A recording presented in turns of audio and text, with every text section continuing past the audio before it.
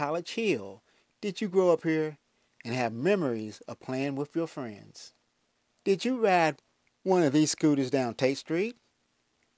I wonder who will be next to go for a ride.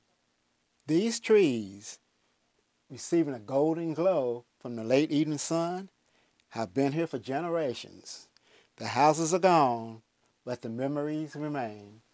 The sign gives you permission to walk, but you have to decide the way you want to go. During the day, there's always a conversation going on underneath the shelter. But now, during the late evening, only the memories of their voices remain.